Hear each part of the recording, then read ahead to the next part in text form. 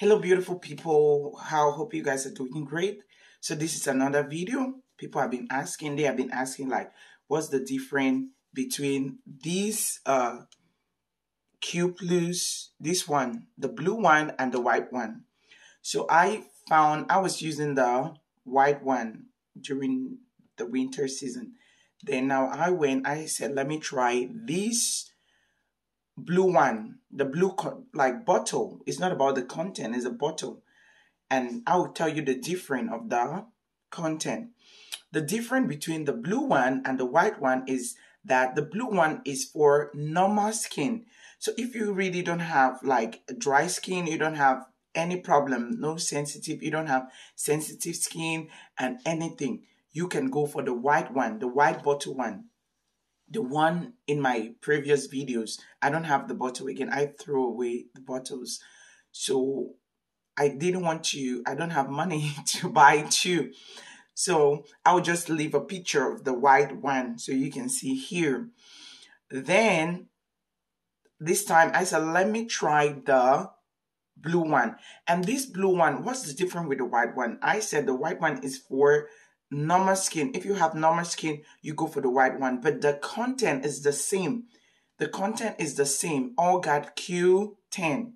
So this uh, blue one is for dry skin. If you have dry and sensitive skin, you go for this one. Yeah, you go for this one. So if you have like complicated skin, dry skin, if you're always like dry, your skin is always dry, go for this blue one. So I'm going to be using this blue one because um, it's getting to summer. Though in winter, in winter I use a lot of oils, so I didn't really, uh, I don't really uh, worry about the, I didn't worry about that one. But now it's summer and summer I use lighter oils on my body. Yeah, I use lighter oils like the cocoa butter and now I just use the cocoa butter, vitamin E, vitamin C. I don't go with shea butter, cocoa butter, because those ones are good for winter. They're hard. In summer, you're sweaty. In summer, like the spring, summer, you're getting uh, like it's getting hot, so you're sweaty and all that. And those oils are so thick and so I don't know how to put it. It's like so uh, hard to be absorbed quickly by your body. So when you go outside, maybe you're dripping, you're like it's sweaty, and you you perceive some body odor. So I don't want that. So this time I choose this one. So I will use lighter oils with this one before my Q plus. Or some days even I don't use the QE, QI plus. I just use these and the body butters for summer. Yeah.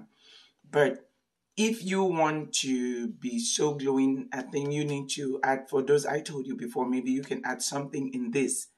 You can add something but it doesn't really brighten. If you want brightening, it doesn't brighten like people expect. I know people just expect when you want to use these things, it, it brightens you overnight. No, this doesn't.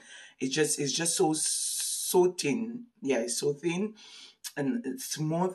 Yeah, but it's really kind of it's good. I really like Nivea. Nivea is a cream for like it has been a cream that has been used over centuries and people keep using it, it especially for dark caramel skin. It's perfect. It's really perfect. Yeah so that's all i wanted to say. Just tell you the difference of these two because people kept asking and i really tried to know the difference. Is one is for normal skin one is for sensitive dry skin. Yeah but the content is